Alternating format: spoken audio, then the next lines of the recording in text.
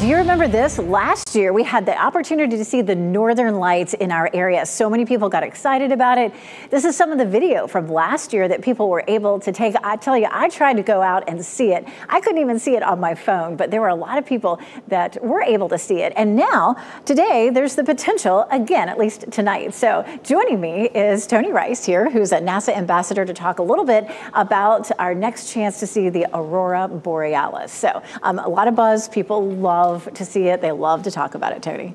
Yeah, I wouldn't expect what we saw last year, uh, uh, around this time last year, this time around. It's not going to be quite as strong, but we've actually got two coronal mass ejections that are heading for us right now the, the rub of it is we don't know when they're going to arrive.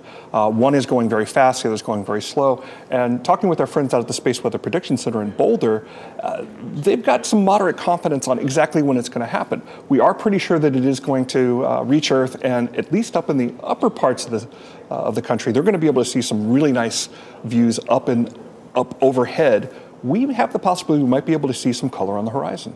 So it, of course, most of the time is well to our north. And of course, that's where it's more likely up in Canada, up near the Great Lakes, near the Canadian border. And then possibly visible is just there, say from New York westward. And we're in the maximum visibility scenario. But when we look at what the forecast was last year, when we uh, were able to see so much of it, we were in the possibly visible and the max visibility scenario was well to our south. So it doesn't it doesn't look as likely this time. But still, with two of those coming together, if they come at the same time, does that give us a better chance, or just you know one of them needs to be strong enough?